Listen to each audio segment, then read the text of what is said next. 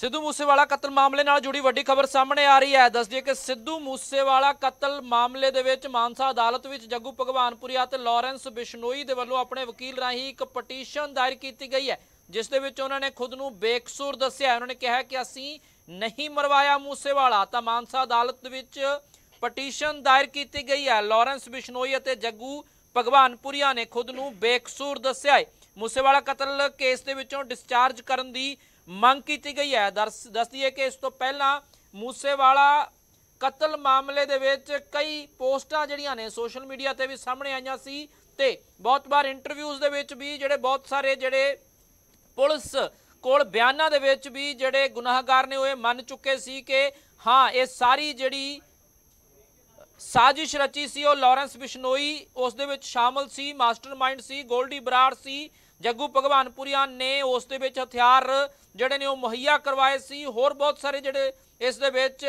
ਸ਼ਾਮਲ ਸੀ ਗੈਂਗਸਟਰ। ਤਾਂ ਹੁਣ ਇਸ ਮਾਮਲੇ ਦੇ ਵਿੱਚ ਜਿੱਥੇ ਲਾਰੈਂਸ ਬਿਸ਼ਨੋਈ ਅਤੇ ਜੱਗੂ ਭਗਵਾਨਪੁਰੀਆ ਦੇ ਵੱਲੋਂ ਇੱਕ ਪਟੀਸ਼ਨ ਦਾਇਰ ਕੀਤੀ ਗਈ ਆਪਣੇ ਵਕੀਲ ਦੇ ਰਾਹੀਂ, ਜਿਸ ਦੇ ਵਿੱਚ ਉਹਨਾਂ ਨੇ ਇਸ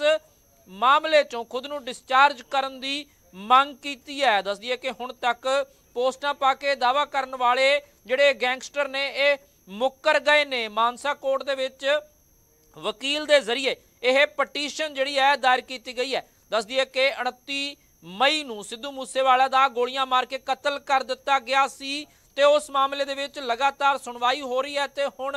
ਅਗਲੀ ਸੁਣਵਾਈ 5 ਜਨਵਰੀ ਨੂੰ ਹੋਣੀ ਹੈ ਤੇ ਉਸ ਤੋਂ ਪਹਿਲਾਂ ਇਹ ਜੱਗੂ ਭਗਵਾਨਪੁਰੀਆ ਤੇ ਲਾਰੈਂਸ ਬਿਸ਼ਨੋਈ ਦੇ ਵੱਲੋਂ ਆਪਣਾ ਪੱਖ ਰੱਖਿਆ ਗਿਆ ਡਿਸਚਾਰਜ ਕਰਨ ਦੀ ਮੰਗ ਜਿਹੜੀ ਆ ਉਹ ਕੀਤੀ ਗਈ ਹੈ। ਤਾਂ ਲੈਟਰ ਦੀ ਕਾਪੀ ਜਿਹੜੀ ਹੈ ਪਟੀਸ਼ਨ ਦਾਇਰ ਕੀਤੀ ਗਈ ਹੈ ਅਰਜ਼ੀ ਦਾਇਰ ਕੀਤੀ ਗਈ ਉਸ ਦੀ ਕਾਪੀ ਵੀ ਅਸੀਂ ਤੁਹਾਡੇ ਨਾਲ ਸ਼ੇਅਰ ਕਰ ਰਹੇ ਹਾਂ ਕਿਸ ਢੰਗ ਦੇ ਨਾਲ ਜਿਹੜੀ ਧਾਰਾ ਅ, 239 ਜਿਹੜਾ ਉਸ ਦੇ ਅਕੋਰਡਿੰਗ ਡਿਸਚਾਰਜ ਦੀ ਮੰਗ ਕੀਤੀ ਗਈ ਹੈ। ਤਾਂ ਸਿੱਧੂ ਮੂਸੇਵਾਲਾ ਕਤਲ ਮਾਮਲੇ ਦੇ ਨਾਲ ਜੁੜੀ ਵੱਡੀ ਖਬਰ ਹੈ। ਸਿੱਧੂ ਮੂਸੇਵਾਲਾ ਕਤਲ ਮਾਮਲਾ ਜੋ ਬਹੁਤ ਚਰਚਿਤ ਮਾਮਲਾ ਹੈ ਕਿਸ ਢੰਗ ਦੇ ਨਾਲ ਗੋਲੀਆਂ ਮਾਰ ਕੇ ਸਿੱਧੂ ਮੂਸੇਵਾਲੇ ਦਾ ਕਤਲ ਕਰ ਦਿੱਤਾ ਗਿਆ ਸੀ ਤੇ ਉਸ ਮਾਮਲੇ ਦੇ ਵਿੱਚ ਲਾਰੈਂਸ ਬਿਸ਼ਨੋਈ ਅਤੇ ਜੱਗੂ ਭਗਵਾਨਪੁਰੀਆ ਦੀ ਸ਼ਮੂਲੀਅਤ ਸਾਹਮਣੇ ਆਈ ਸੀ ਤੇ ਹੁਣ ਉਸ ਦੇ ਵਕੀਲ ਸ਼ੈਲੀ ਸ਼ਰਮਾ ਨੇ ਅਦਾਲਤ ਦੇ ਵਿੱਚ ਇੱਕ ਅਰਜ਼ੀ ਦਾਇਰ ਕੀਤੀ ਹੈ ਕਿ ਧਾਰਾ 239 ਦੇ ਅੰਤਰਗਤ ਜੱਗੂ ਭਗਵਾਨਪੁਰੀਆ ਨੂੰ 227 ਸੀਆਰਪੀਸੀ ਦੇ ਅੰਤਰਗਤ ਇੱਕ ਐਪਲੀਕੇਸ਼ਨ ਦਾਇਰ ਕੀਤੀ ਗਈ ਹੈ। ਅਦਾਲਤ ਸਾਹਮਣੇ ਅਪੀਲ ਕੀਤੀ ਗਈ ਹੈ, ਗੁਹਾਰ ਲਾਈ ਗਈ ਹੈ ਕਿ ਦੋਵਾਂ ਮੁਲਜ਼ਮਾਂ ਨੂੰ ਇਸ ਕੇਸ ਦੇ ਵਿੱਚੋਂ ਡਿਸਚਾਰਜ ਕੀਤਾ ਜਾਏ। ਦੱਸ ਦਈਏ ਕਿ ਹਾਲਾਂਕਿ ਅਦਾਲਤ ਦੇ ਵੱਲੋਂ ਸਰਕਾਰੀ ਵਕੀਲ ਨੂੰ ਇਸ ਦੀ ਕਾਪੀ ਦਿੱਤੀ ਗਈ ਆ। 5 ਜਨਵਰੀ ਨੂੰ ਇਸ ਦਾ ਜਵਾਬ ਦਾਖਲ ਕਰਨ ਦੇ ਨਿਰਦੇਸ਼ ਦਿੱਤੇ ਗਏ ਨੇ। ਤਾਂ ਵੱਡਾ ਸਵਾਲ ਹੈ ਕਿ ਕਿਤੇ ਇਹ ਕੇਸ ਕਮਜ਼ੋਰ ਤਾਂ ਨਹੀਂ ਹੋ ਰਿਹਾ ਕਿਸੇ ਕਾਰਨ ਕਰਕੇ ਜਾਂ ਕਿਤੇ ਜਿਹੜੇ ਇਸ ਦੇ ਵਿੱਚ ਸਬੂਤਾਂ ਦੀ ਘਾਟ ਤਾਂ ਨਹੀਂ ਜਾਂ ਫਿਰ ਕਿਤੇ ਜਿਹੜੇ ਇਸ ਦੇ ਵਿੱਚ ਜਿਹੜੇ ਜਿਨ੍ਹਾਂ ਨੇ ਗਵਾਹੀਆਂ ਦਿੱਤੀਆਂ ਨੇ, ਜਿਹੜੇ ਗਵਾਹ ਨੇ, ਉਹ ਆਪੋ ਆਪਣੇ ਬਿਆਨਾਂ ਤੇ ਪੂਰੀ ਤਰ੍ਹਾਂ ਕਾਇਮ ਵੀ ਨੇ। ਦੂਜੇ ਪਾਸੇ ਜਿਹੜੇ ਸਿੱਧੂ ਮੂਸੇਵਾਲਾ ਦੇ ਪਿਤਾ ਨੇ, ਬਲਕੌਰ ਸਿੰਘ, ਉਹਨਾਂ ਨੇ ਕਿਹਾ ਕਿ ਉਹ ਆਪਣੇ ਪੁੱਤ ਨੂੰ ਇਨਸਾਫ ਦਿਵਾਉਣ ਦੇ ਲਈ ਲਗਾਤਾਰ ਲੜਾਈ ਲੜਨਗੇ, ਇਨਸਾਫ ਦੇ ਲਈ। ਤਾਂ ਸਿੱਧੂ ਮੂਸੇਵਾਲਾ ਕਤਲ ਮਾਮਲੇ ਦੇ ਵਿੱਚ ਵੱਡਾ ਅਪਡੇਟ ਯੂ ਟਰਨ ਇਸ ਨੂੰ ਕਿਹਾ ਜਾ ਸਕਦਾ ਹੈ, ਕਿਉਂਕਿ ਬਹੁਤ ਸਾਰੀਆਂ ਇੰਟਰਵਿਊਜ਼ ਦੇ ਵਿੱਚ, ਬਹੁਤ ਸਾਰੀਆਂ ਪੋਸਟਾਂ ਦੇ ਵਿੱਚ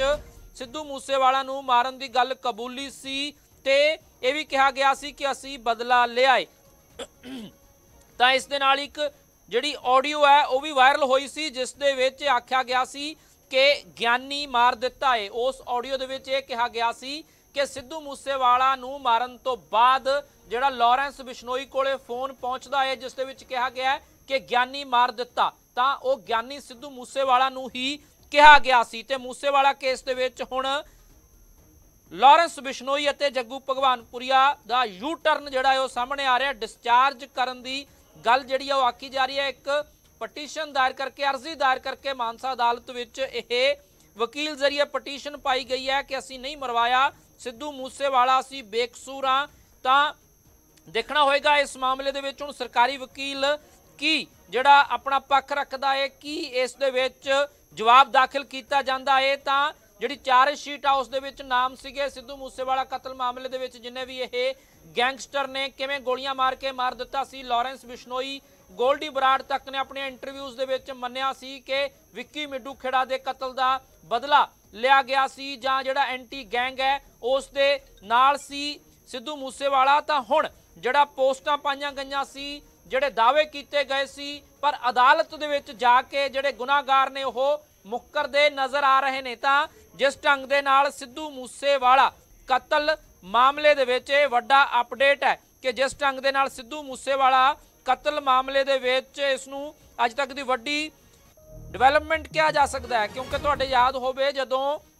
ਸਚਨ ਭਿਵਾਨੀ ਦੇ ਵੱਲੋਂ ਇਹ ਗੱਲ ਆਖੀ ਗਈ ਕਿ ਸਿੱਧੂ ਮੂਸੇਵਾਲਾ ਨੂੰ ਇੱਕ ਕਬੱਡੀ ਕੱਪ ਦੇ ਵਿੱਚ ਜਾਣ ਤੋਂ ਰੋਕਿਆ ਗਿਆ ਸੀ ਤੇ ਉਸ ਤੋਂ ਬਾਅਦ ਸਿੱਧੂ ਮੂਸੇਵਾਲਾ ਅਤੇ ਫੋਨ ਤੇ ਦੋਵਾਂ ਦੇ ਵਿੱਚ ਗਾਲੀ ਗਲੋਚ ਤੱਕ ਹੋ ਗਈ ਸੀ, ਜਿਸ ਦੇ ਵਿੱਚ ਸਿੱਧੂ ਮੂਸੇਵਾਲਾ ਨੂੰ ਟਰੈਕਟਰ ਦਿੱਤਾ ਗਿਆ ਸੀ। ਉਹੀ ਲੱਕੀ ਪਟਿਆਲ ਦਾ ਟੂਰਨਾਮੈਂਟ ਸੀ, ਜਿਸ ਦੇ ਵਿੱਚ ਸਿੱਧੂ ਮੂਸੇਵਾਲਾ ਨੂੰ ਜਾਣ ਤੋਂ ਰੋਕਿਆ ਗਿਆ ਤੇ ਉੱਥੋਂ ਹੀ ਦੋਹਾਂ ਦੀ ਟਸਰ ਆਪਸ ਦੇ ਵਿੱਚ ਵੱਧ ਗਈ ਸੀ ਤੇ ਲਾਰੈਂਸ ਬਿਸ਼ਨੋਈ ਅਤੇ ਸਿੱਧੂ ਮੂਸੇਵਾਲਾ ਨੂੰ ਆਪਸ ਦੇ ਵਿੱਚ ਗਾਲਾਂ ਤੱਕ ਕੱਢ ਦਿੱਤੀਆਂ ਸੀ, ਜਿਸ ਤੋਂ ਬਾਅਦ ਇਹ ਟਾਰਗੇਟ ਤੇ ਆ ਗਿਆ ਸੀ ਸਿੱਧੂ ਮੂਸੇਵਾਲਾ। ਤੇ ਹੁਣ ਉਸ ਮਾਮਲੇ ਦੇ ਵਿੱਚ ਵੱਡਾ ਯੂ ਟਰਨ ਲਾਰੈਂਸ ਬਿਸ਼ਨੋਈ ਦਾ ਤੇ ਜੱਗੂ ਭਗਵਾਨਪੁਰੀਆ। ਜੱਗੂ ਭਗਵਾਨਪੁਰੀਆ ਉਹੀ ਹੈ, ਜਿਸ ਤੇ ਇਲਜ਼ਾਮ ਨੇ ਕਿ ਜਿੰਨੇ ਵੀ ਹਥਿਆਰ ਜਿਹੜੇ ਨੇ ਵਰਤੇ ਗਏ ਨੇ, ਸਿੱਧੂ ਮੂਸੇਵਾਲਾ ਨੂੰ ਕਤਲ ਕਰਨ ਦੇ ਲਈ ਉਹ ਜੱਗੂ ਭਗਵਾਨਪੁਰੀਆ ਦੇ ਵੱਲੋਂ ਮੁਹੱਈਆ ਕਰਵਾਏ ਗਏ ਸੀ। ਤਾਂ ਹੁਣ ਇਸ ਮਾਮਲੇ ਦੇ ਵਿੱਚ ਵੱਡਾ ਅਪਡੇਟ ਹੈ ਕਿ ਸਿੱਧੂ ਮੂਸੇਵਾਲਾ ਕਤਲ ਮਾਮਲੇ ਦੇ ਵਿੱਚ ਜਿਸ ਢੰਗ ਦੇ ਨਾਲ ਕਿਹਾ ਗਿਆ ਕਿ ਸਿੱਧੂ ਮੂਸੇਵਾਲਾ ਜਿਹੜਾ ਏ, ਉਸ ਮਾਮਲੇ ਦੇ ਵਿੱਚ ਲਾਰੈਂਸ ਬਿਸ਼ਨੋਈ ਦੇ ਵੱਲੋਂ ਇਹ ਗੱਲ ਆਖੀ ਗਈ ਹੈ ਕਿ ਤੇ ਜੱਗੂ ਭਗਵਾਨਪੁਰੀਆ ਦੇ ਵੱਲੋਂ ਇਹ ਗੱਲ ਆਖੀ ਗਈ ਹੈ ਕਿ ਉਹ ਬੇਕਸੂਰ ਨੇ ਯੂ ਟਰਨ ਇਸ ਨੂੰ ਕਿਹਾ ਜਾ ਸਕਦਾ ਹੈ